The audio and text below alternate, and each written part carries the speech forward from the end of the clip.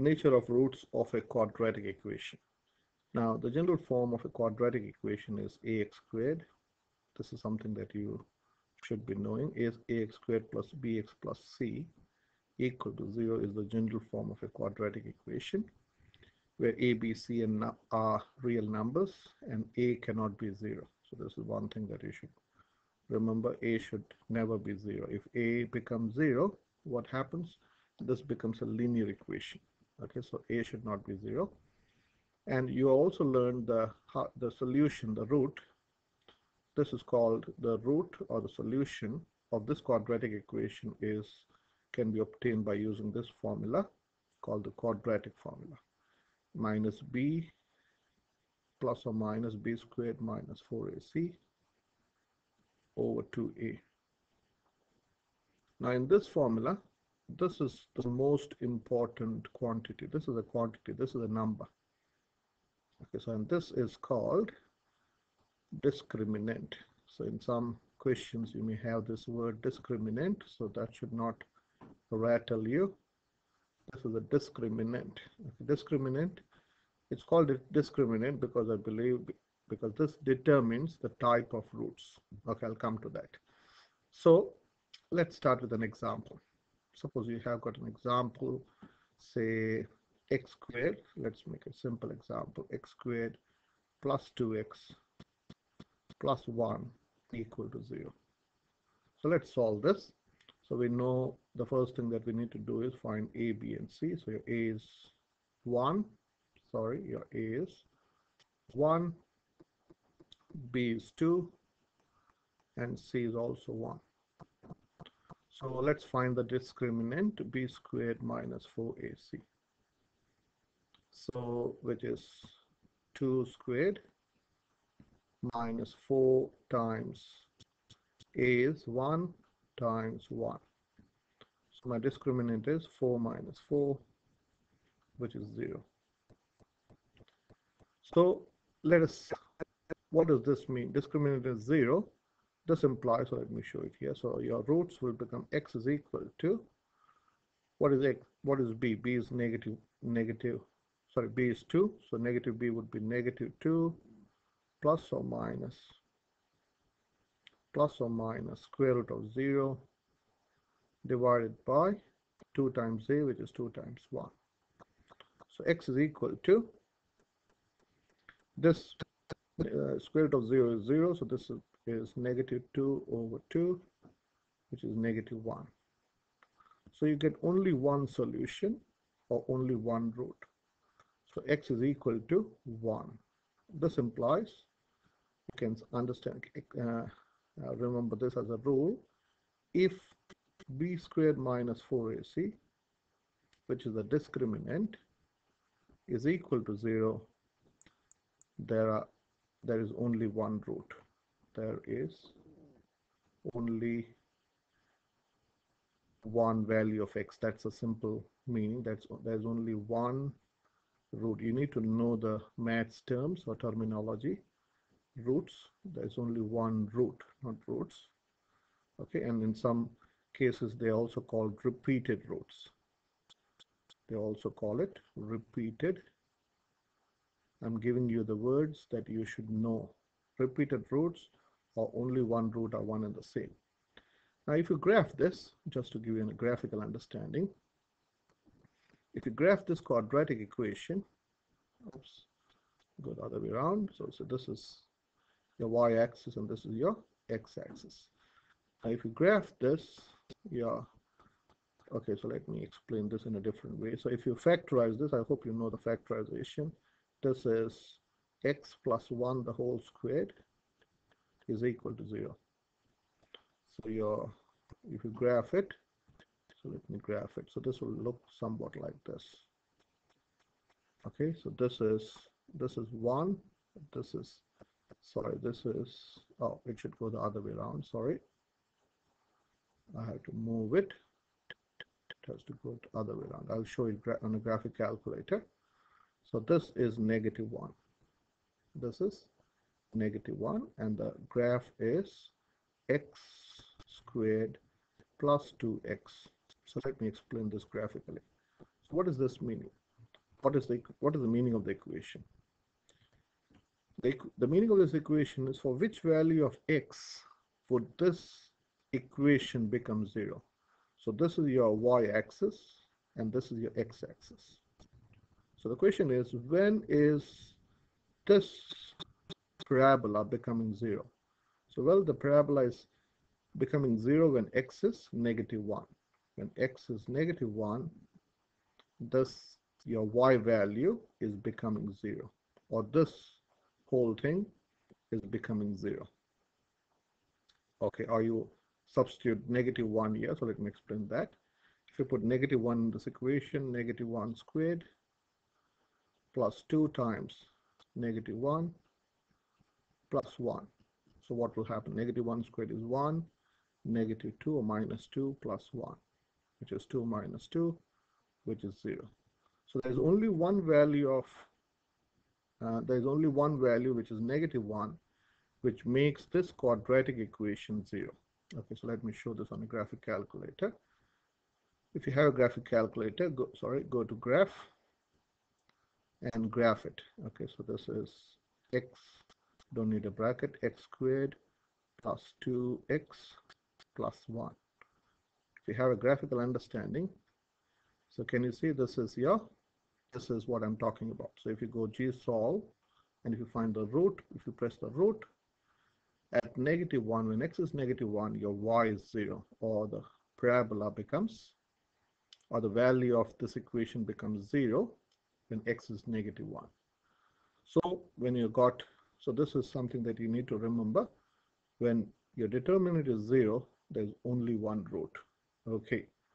So now the next case. Okay, so let me take uh, another example. Suppose x squared uh, plus uh, 5x uh, plus 11 uh, is equal to 0. Okay. So what is A? So the same process. A is 1, B is 5, and C is 11. So let's find the determinant b squared minus 4ac is equal to that's let's write 5 squared this is 5 squared so b is phi so it is phi squared minus 4 times a which is 1 times 11 which is phi 25 minus 44 and 25 minus 44 is uh, okay so 25 so this is 44 minus uh, okay so this is my brain is not working okay so 25 minus 44 I can't think of so it's negative 19 okay I knew it was 19 but I just wanted to confirm. So let's find the use the quadratic equation. So x is negative b so this is negative 5 plus or minus square root of negative 19 over 2 times a which is 2 times 1 so this is negative 5 plus or minus square root of negative 19 divided by 2 now this you are you have stuck a situation which you haven't encountered before. Now square root of a negative number in real numbers is not possible. Okay so you cannot find the square root of a negative number. Why? Because okay so let me explain this for some of you it will be difficult. Say square root of 16 say square root of 16 is I hope you should know is plus or minus 4 why? Because 4 squared is 16 and negative 4 squared is also 16 but if someone is asking you what is square root of negative 16 there are no number which when you square it can give you negative 16 so here in real numbers no real solution or no real uh, or not possible in real numbers. You can't, of course, you can find square root of a negative number in complex numbers. So you can write here mathematically to be correct, no answer or no solution in real numbers. You only know real numbers when you come to year 13 in real numbers. When you come to uh, year 13, when you learn complex numbers, you will understand how to find square root of negative 16. So here we say at this, you are the dead end, and here you have to say no real roots, no real roots or no real roots or solution. Okay, or think in a different way. Okay, so let me explain this in a different way.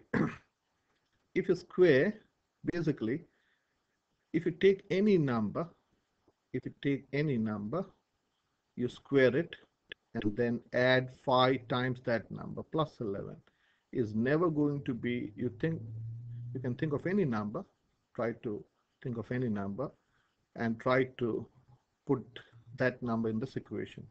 It is always going to be greater than 0.